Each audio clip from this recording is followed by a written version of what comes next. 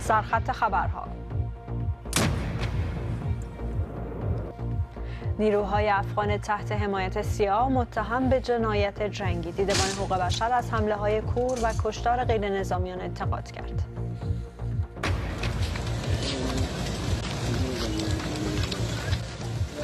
بیش از هفتاد کشته بر اثر آتش سوزی قطاری در پاکستان علت حادثه انفجار کپسول گاز مسافران اعلام شد. همزمان با زمزمه بازگشت سعد حریری به نخست وزیری مردم لبنان منتظر سخنان امشب رئیس جمهوریند. و جزئیات تازه از 39 مهاجری که هفته پیش اجسادشان در کامیون در بریتانیا پیدا شد.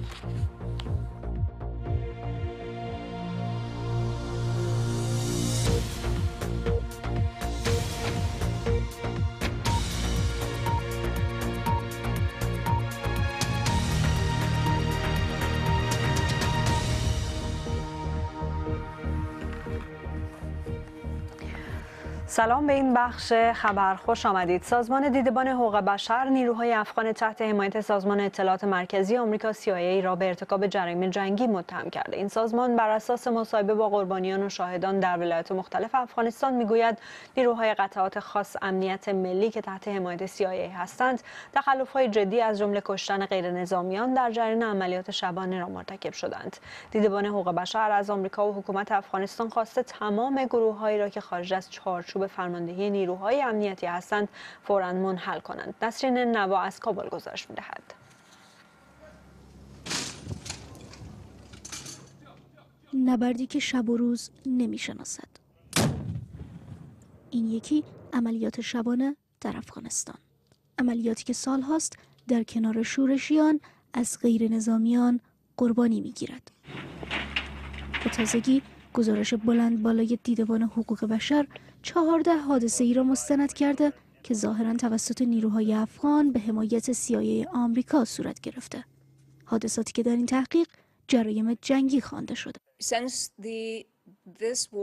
از زمان این جنگ این جنگ ویژه در افغانستان که پس از سال 2001 آغاز شد سازمان CIA یک عملیات ضد توریستی موازی با سایر ارتش ایالات متحده دولت افغانستان نیروهای ناتو و بقیه را حفظ کرده که مشخصا علیه القاعده داعش و طالبان بوده. این واحدها واحدهای مخفی هستند که بیرون از فرماندهی نیروهای دفاعی دولت افغانستان و نیروهای آمریکایی عملیات نظامی انجام می‌دهند و به صورت محلی استخدام می شوند. بر اساس این گزارش واحدهای خاص اداری امنیت ملی افغانستان موسوم به 01 02 03 04 و نیروی حفاظتی خوست بیشتر از سوی سیای استخدام، آموزش، تجهیز و مدیریت می شوند. ناگهان به خانه اش هجوم بردند. می‌گوید پس از روزها کار به خانه برگشته بود. و کودکانش را می‌دید که این اتفاق افتاد. به گفته او آن شب مهاجمان تمام خانه های روستا را بازرسی و مردها را با خودشان به کوه بردند. شبی پر از وحشت. نمی اشتوکای ما دو تا بچه هر دو تا خواه بود. ای که بیدار شد یک قسم گریه می‌کنه از زمین تیارای هلیکوپتر هم بود تیارای چاپم بود. بسیار یک سر و صدا بود از زمین خاطر که بیدار شد بسیار میترسید این ما بغل گرفتم. یک وقت دیدم در اتاق ما آمد اول. اول در اتاق ما آمد زنم اون طرف بیچاره شیشته من استاد شدم گفتم خیرت از بود که من تلفن و چیزایی تا. تلفن برش دادم. بعد از تلفن که از ما گرفت گفت بیا بیرون شو. حدود یکی هفت سال عمر داره دیدبان حقوق بشر در این تحقیق با 39 شاهد عینی در ولایت مختلف افغانستان مصاحبه کرده. یکی از مصاحبه شوندگان دوازده عضو فامیلش را یک شب از دست داده. وقتی که من آمدم دیدم که خانه من کاملا تخریب گردیده و فامیلم و خانوادم همش در قبرستان زیر خاک بودن. در این گزارش 52 صفحه‌ای دیدبان حقوق بشر آمده که این نیروها بیشتر به هدف کشتن و دستگیری شورشیان عموما در مناطق جنگی و روستایی وارد عمل میشن. اما خواسته یا ناخواسته و آنطور که اینجا آمده بنابر اطلاعات نادرست گاهی به اماکن غیر نظامی حمله می‌کنن و در مواردی هم بدون هیچ سوال و جوابی آنها را می‌کشن. حدود دو ماه پیش به دنبال کشته شدن چهار عضو یک خانواده توسط نیروهای قطعه صفر دو در شهر جلال آباد و اعتراضات مردم حکومت هیئتی را برای تحقیق این رویداد موظف کرد. اما با گذشت حدود دو ماه هنوز نتیجه بررسی این هیئت اعلام نشده در برابر او عملیات هایی که برای افراد ملکی آسیب میرسانه ما بسیار جدی هستیم. ما متوقف ساختیم. برنامه های زیاد را فسخ کردیم به ای که به کس آسیب نرسه. اما در پهلوی ازی ما با تهدید بسیار جدی تروریسم که به مردم آسیب میرسانند روبرو هستیم. و این قطعات باید برن و او تهدیدات از بین ببره در سالهای اخیر کشته شدن غیر نظامیان افغان در عملیات شبانه و هوایی بارها اعتراض فعالان حقوق بشر را برانگیخته. اما این اعتراض ها هنوز راه به جایی نبرده نسرین نوا بی بی سی کابل تمیم آسی معاون سابق وزارت دفاع افغانستان درباره نیروهای تحت حمایت سیا بیشتر توضیح داد. اساسا این نیروها شبه نظامی است که تحت قیومیت و اداره مشترک سازمان استخباراتی افغانستان و سیا قرار داره و سازمان سیا در نقش حمایتی و لوجستیکی و استخباراتی زیادتر فعالیت می‌کنند و ریاست امنیت ملی افغانستان مسئولیت قماندانی و سوق اداری از این نیروها را دارن که قطع امی چهار قطعه قطعه صفر یک و صفر دو و صفر سه و صفر چهار و نیروی حفاظتی خوست و قندار است. اینا فعالیت دارند بنابراین فرماندهی از اینا مشترک است. ولی اینا اساسا در چارچوب نیروی امنیتی و دفاعی افغانستان نیستند و اینا میدان های جنگ می‌کنن که یکی از سختترین جبهات جنگ می باشه و در اونجا نیروهای متداول امنیتی و دفاعی افغانستان در او جبهات جنگ کرده نمی‌تونن. بنان اینا در یک محیط بسیار سخت جنگ می‌کنن با یک دشمن بسیار پیچیده و اشتباهات از اینا سر می‌زنه و او باید مسئول و حسابدهی باشند در قسمت. So, فکر، پس فکر می‌کنه که این تخلفاتی که در موردش صحبت میشه توسط این نیروها انجام شده. طبعا یک سلسله شواهد وجود داره. می رقمه که گزارش دیدبان حقوق بشر 14 مورد بسیار به شکل جزیاتش مستند ساخته. اما اشتباهات افراد و قماندانای خاص داخل از این نیروها باعث از این باید نشه که نیروها را تمامش بد ما در یک جنگ بسیار پیچیده قرار داریم و این جنگ نیاز به یک سلسله کارهای غیر معمول داره و نیروهای غیر معمول داره که در یک شرایط پیچیده برن. و علیه تروریستا داخل عمل شوند. اما تلفات ملکی و جرایم جنایی جنگی باید هر کس در هر سطح است حسابی محاکمه شوند و همچنان به دادگاه کشانیده شوند. اما یک چیزی که باید واضح باشه است که پناهگاه های تروریست ها در او طرف خط فرضی دیورند است. این جنگ نباید در قرا و قصبات افغانستان جنگیده شود. صحبتی بود با تمیم آسی معاون سابق وزارت دفاع افغانستان. آتش سوزی قطاری در پاکستان بیش از 70 نفر را کشت ده ها نفر هم زخمی شدند. به گفته مقام های مسئول علت حادثه انفجار کپسول های گاز بوده که مسافران داخل قطار برده بودند. این مرگبارترین حادثه در شبکه ریلی پاکستان در 14 سال گذشته است. فؤاد مسیحا گزارش می‌دهد. حادثه دیگر در ناوگانی شلوغ و نه چندان خوش سابقه. صبح امروز دست کم سه واگن این قطار در آتش سوخت در مرکز پاکستان. بیشتر از هفتاد نفر کشته شدند و ده ها نفر زخمی. علت آنطور که مقام ها می‌گویند انفجار این کپسول های گاز بوده که مسافران با آنها در حال پختن غذا بودند.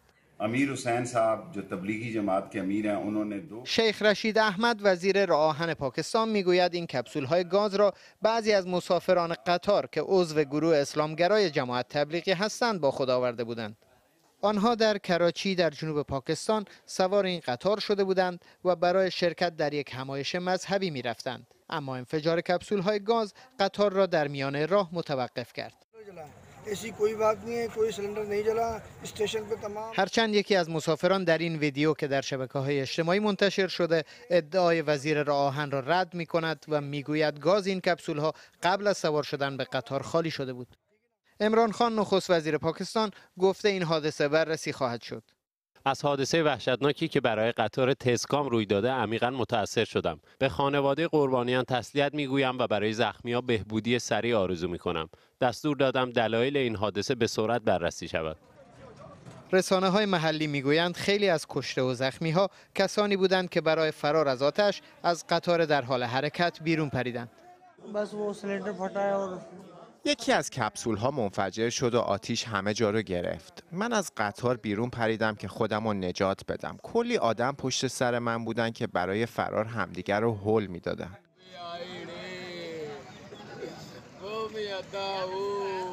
در پاکستان اینکه قطاری به سمت فاجعه براند حادثه بی پیشینه نیست. به دلیل فرسودگی ناوگان راه شلوغی بیش از حد ظرفیت قطارها و نادیده گرفتن نکات ایمنی چه از سوی مسافران و چه از طرف شرکت های مسافربری احتمال حادثه و آمار تلفات همیشه بالا بوده. 15 کشته در دو حادثه دیگر در سال جاری 56 کشته در سال 2007 و در یکی از بدترین این حوادث بیشتر از 130 کشته در سال 2005 فواد مسیحا بی بی سی به گزارش خبرگزاری رویترز آمریکا در نظر دارد معافیت شرکت های روسی، چینی و اروپایی از تحریم برای ادامه فعالیت در تأسیسات هسته ایران را تمدید کند. رویترز به نقل از دو منبع آگاه گفته هدف این معافیت جلوگیری از دستیابی ایران به سلاح هسته است. در همین حال سخنگوی وزارت خارجه ایران گفته اروپایی ها مخصوصا فرانسه تلاش می‌کنند تا برای اجرای تعهدات خود در توافق هسته کارهایی بکنند ولی هنوز این تلاش به نتیجه ملموسی نرسیده. او هشدار داده اگر شرایط به همین منوال پیش برود به احتمال قوی ایران گام چهارم را برای کاهش تعهدات هسته خود برخواهد داشت. دادستان کل ایران می‌گوید در هفته های اخیر شش قاضی به گفته او فاسد برکنار شدند و عده بیشتری تحت پی گردند. محمد جعفر منتظری همچنین از رسیدگی به هفت تا ده پرونده دیگر در دادگاه عالی خبر داد. به گفته او تحول قوه قضاییه در دستور کار قرار گرفته. محمد حسین رستمی مدیر سابق سایت اماریون که در زندان اوین تهران زندانی است هر گونه همکاری با آمد نیوز را تکذیب کرده. در اعترافهایی که تلویزیون ایران اخیرا از روح الله زم مدیر سابق کانال تلگرامی آمد نیوز پخش کرده. او آقای رستمی را یکی از منابع اطلاعاتی خود معرفی کرد. محمد حسین رستمی به جاسوسی برای اسرائیل اقدام علیه امنیت و حمل غیرقانونی سلاح متهم شده. او تاکید کرده اعترافهای تلویزیونی آقای زم درباره او در هیچ دادگاهی ثابت نشده. روح زم که مقیم فرانسه بود حدود دو هفته پیش در سفری به عراق بازداشت و به ایران منتقل شد. رئیس جمهوری لبنان قرار است امشب سخنرانی کند. انتظار می رود در این سخنرانی او به موجی از اعتراضات بپردازد که هفته هاست در لبنان برپا شده. این سخنرانی به مناسبت سومین سالگرد انتخاب میشل اون به ریاست جمهوری از پیش برنامه ریزی شده بود. اما موعد آن با استعفای سعد حریری نخست وزیر در واکنش به اعتراض ها همزمان شده. مهداد فرهمند در گزارش خود به گمان زنی ها در مورد محتوای سخنرانی امشب رئیس جمهوری لبنان پرداخته. بامداد امروز ارتش لبنان پاکسازی خیابانها را از تظاهر کنندگان آغاز کرد. در حالی که روزنامه های صبح تیتر زده اند حریری با اتکاب خیابان مذاکره می کند.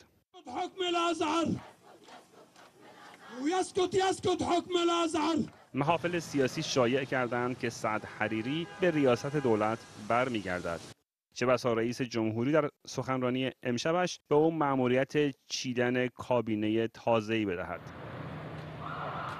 تظاهر کنندگان هفته هاست علیه همین دولتی به پا خواستند که سعد حریری رئیسش بوده. اعضایش را فاسد می‌خواندند. شاید شرکای قدرت در لبنان به این نتیجه رسیدند که کابینه‌ای با چیدمان تازه خواسته تظاهر کنندگان را برآورده کند. سوال این است که شروط حریری برای بازگشت به دولت چیست؟ چه امتیازی از رئیس جمهوری خواهد خواست که به جناح مخالفش تعلق دارد و ناچار به تحمل پیروانش در دولت خود شده؟ در کف خیابان هم این علامت سوال بزرگ به چشم می‌خورد. آیا تظاهر کنندگان با تشکیل دولتی تازه راضی می شوند و دیگر به خیابان بر نمی گردند؟ الفيلم ذو الأغلى افتتاحية على مر التاريخ أثر كثيرا على نمط فئة من المتظاهرين في لبنان والعراق بشكل لافت تحلیل حزب الله از اوضاع را می‌توان در گزارشی دید که دیشب از المنار تلویزیون این حزب پخش شد. هزار کنندگان را الهام گرفته از فیلم دلغک یا جوکر قلمداد کرد. فیلمی که در آن جنبشی به راه میافتد با آواز و بزن و برقص بدون خواسته های مشخص. نرى الفوضى التي سببها آرثر دون أن يدري والتي حركت الفقراء في مدينته مرتضی فرهمند بی بی سی نگاهی دوباره به مهمترین عناوین خبری این برنامه سازمان دیدبان حقوق بشر می‌گوید نیروهای افغان تحت حمایت سازمان اطلاعات مرکزی آمریکا CIA در افغانستان مرتکب جرایم جنگی شده. آتش سوزی قطاری در پاکستان بیش از 70 نفر را کشت. علت حادثه انفجار کپسول های گاز مسافران اعلام شده. در ادامه این برنامه جزئیاتی تازه از ماجرای کامیون مرگ در بریتانیا.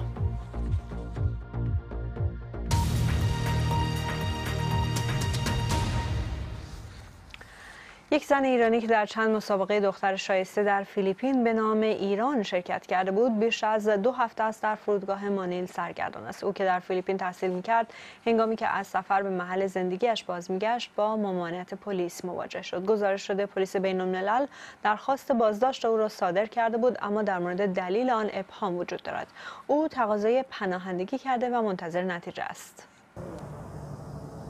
درود به شما. من همچنان در فرودگاه فیلیپین مانیلا ترمینال 3 هستم. امروز پنج شنبه است 31 اکتبر و همچنان هیچ آپدیتی نیست هیچ خبر جدیدی نیست.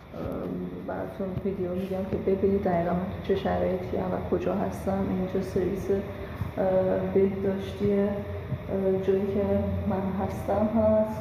من از 17 اکتبر من اینجا هستم و واقعا هنوز نمی‌تونم باور بکنم این اتفاقی بر من پیش اومده راجع به شرایطی که هست. باید خدمتتون عرض کنم که اینجا قسمت ترانزیت هست. که شبی 840 پزو باید اشخاصی که بین سفرشون پرواز هست پرداخت کنن اینها من رو به صورت رایگان اینجا نگه داشتم با اینکه من گفتم حاضرم از این هتلی که در طبقه بالا هست رو پرداخت کنم که من رو اونجا منتقل کنم ولی قبول نکردم. این اتاقایی هست که مسافران میان و نگه میدارن اینجا یا این کسی که خوش به صورت داوطلب می‌خواد. و اتاق که خب من هم اتاق یه نفره همینجوری هستش. فرین تقیزاده اینجا در استودیو. با ماست بیشتر در مورد این خانم بهمون بگو فرین. 17 اکتبر بود که در شبکه های اجتماعی خبری منتشر شد که یک زن ایرانی به نام بهار زار بهاری در فرودگاه مانیل گیر کرده به و پلیس فیلیپین می‌خواد او رو به اجبار بر اساس گفته خود خانم بهاری به ایران برگردونه یا دیپورتش کنه.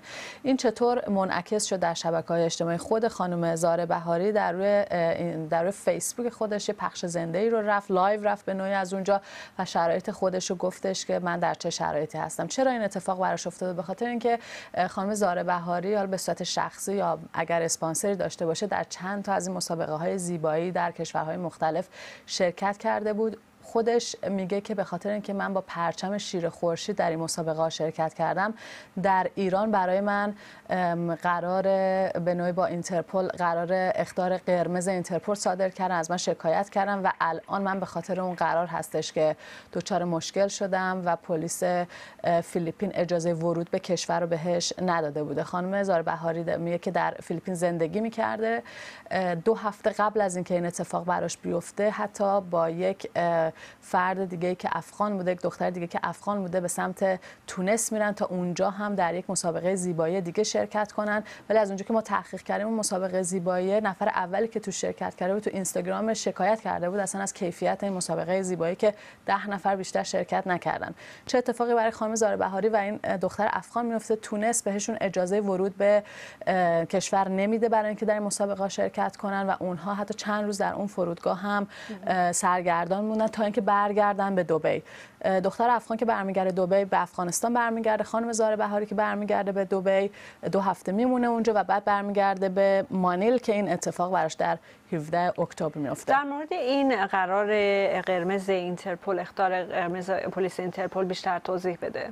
به ما با پلیس اینترپل تماس گرفتیم ایمیلی فرستادیم براشون. در پاسخ به سوال بی بی سی در خانم زارع بهاری از تایید یا تکذیب صدور پیگرد و دلیلش خودداری کرده و گفته که توضیح داده که تنها به درخواست رسمی 194 کشور عضو اینترپل پاسخگوه. خود خانم بهاری هم به بی بی سی گفت که اینترپل پاسخی حتی به وکیلش نداده اونقدر درست و اون پاسخ رو منوط به شفاف سازی از سوی ایران دونسته چون هنوز پاسخ رسمی از ایران در دریافت نکرده بود تو این چند روز گذشته وکیل خانم بهاری. به خاطر همین اطلاعات درستی هم در دستشون نبود که چنین اتفاق افتاده. ولی مقامات فیلیپینی فیلیپینی در روزهای اولیه واکنش‌های اولیه که داشتن گفتن که فردی در ایران به خاطر تعرض در سال 2018 توسط خانم بهاری ازش شکایت کرده. در ایران ازش شکایت کرده.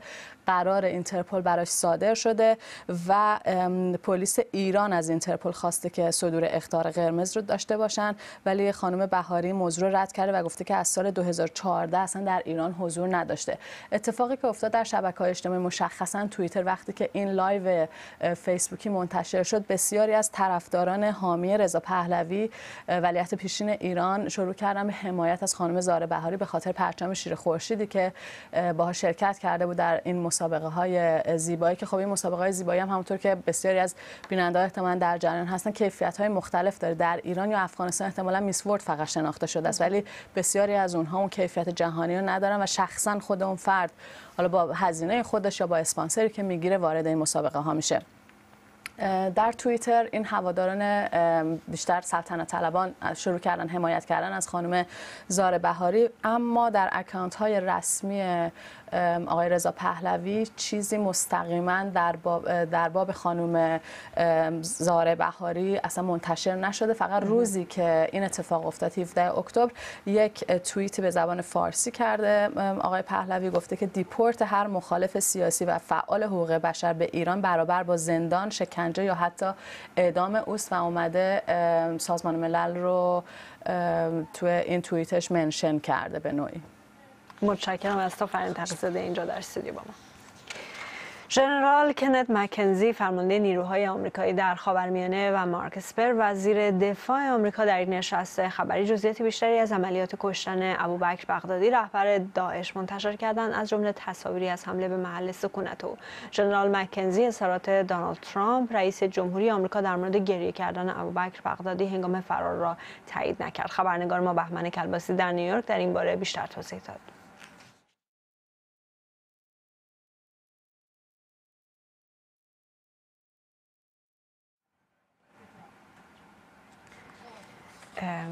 معذرت می‌خوام. همطور که متوجه شدید برای پخش گزارش و مصاحبه من با بهمن کلبسی مشکل فنی داریم. ادامه برنامه ادامه رو برنامه رو ادامه میدیم با دیگر خبرها. هفته پیش جسد 39 مهاجر در کامیونی در بریتانیا پیدا شد. حالا جزئیات بیشتری در مورد مسیری که آنها برای رسیدن به بریتانیا طی کرده بودند منتشر شده. بسیاری از آنها اهل ویتنام بودند و از آنجا به راه افتادند. بعد مدتی در فرانسه ماندند و در نهایت با کامیونی راهی بریتانیا شدند. لوسی ویلیامسون خبرنگار بی بی سی با خانواده بعضی از این مهاجران گفتگو کرد. فرانسه آخرین جایی بود که این افراد دیدند. آخرین جایی که زندگی کردند. البته غیر قانونی.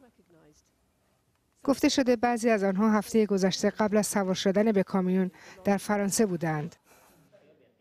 ون هونگ آخرین بار هفته پیش در حال رفتن از مارسی به پاریس دیده شد. بعد از اینکه کامیون به بریتانیا رسید، قاچاقچی ها با پدرش تماس گرفتند. به او گفتند پسرش به زودی به او زنگ می‌زند اما خبری نشد.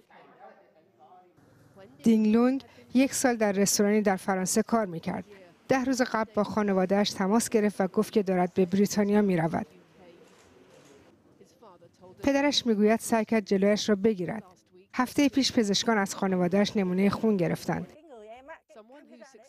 یک نفر که هفته پیش با موفقیت از فرانسه به بریتانیا رفته می‌گوید دوازده نفر از کسانی را که در کامیون مردن می‌شناسد. من یک روز قبل از اون حادثه با کامیون به بریتانیا اومده بودم. هفت نفر بودیم و یخچال روشن نبود. پس برای نفس کشیدن مشکلی نبود. از روسیه از راه جنگل به آلمان و بعد فرانسه رفتم. اومدم بریتانیا که کار پیدا کنم. اما حالا شوکه شدم و نمی‌تونم کار بکنم. فرانسه شهرهایی برای شبکه های قاچاق شده. نزدیکترین جا برای رفتن به بریتانیاست و مهاجران زیادی به اینجا میان. اما در حالی که رسیدن به بلژیک، آلمان و لهستان راحت تره، رفتن به بریتانیا سختتر و پرهزینه تره.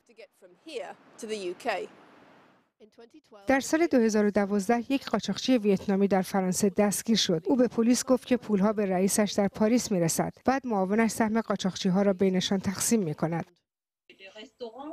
یک متخصص قاچاق می‌گوید که فکر می کند هنوز این شبکه از داخل فرانسه فعالیت می کند. او از ویتنام با ما صحبت می کرد.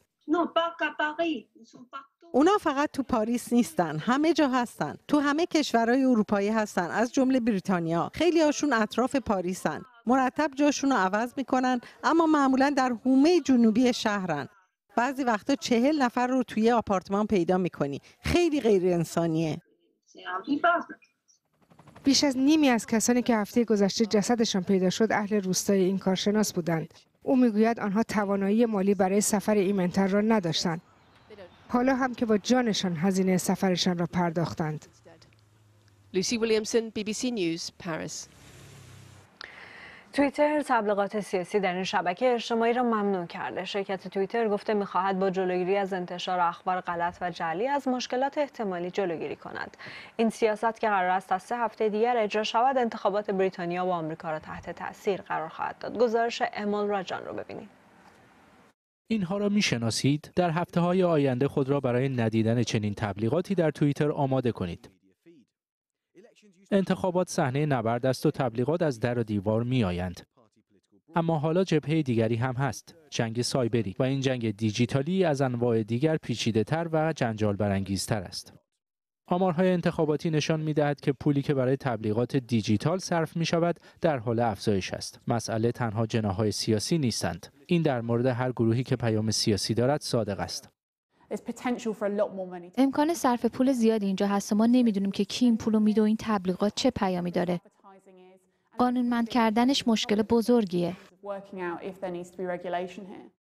در پاسخ به این نگرانی ها رئیس توییتر اعلام کرده که دیگر تبلیغات سیاسی در این شبکه وجود نخواهد داشت. اما با اینکه این تغییر بزرگ به نظر می رسد، تبلیغات سیاسی در توییتر در مقایسه با فیسبوک ناچیز است. در انتخابات 2017 جناحهای سیاسی بریتانیا بیش از 4 میلیون دلار صرف تبلیغات در فیسبوک کردند اما در توییتر این مبلغ حدود 70 هزار دلار بود. در توییتر بیشتر این تبلیغات از جاهای دیگر به اشتراک گذاشته می شود و برایشان پولی پرداخت نمی شود. آزادی بیان ستون دموکراسی ماست اما در صورتی که بدونیم که کی داره این حرفا رو می‌زنه. در مورد شبکه های اجتماعی ما نمی‌دونیم کی داره پول این تبلیغات رو میده. خارجی ها یا بازیگرانی که به خاطر ضعف قوانین از این شبکه ها استفاده می کنند. اما اون تبلیغاتی که به جای منطق عواطفمون را درگیر می‌کنه به نظر موفق تره. تبلیغات دیجیتال آغاز و پایان ندارد. همیشه هست. مقدارش با توجه به نیازهای سیاسی کم و زیاد می شود در هفته های آینده صدایشان بیشتر می شود راجن BBC News مرسی به این بخش خبر ممنون از همراهی شما با بی بی سی فارسی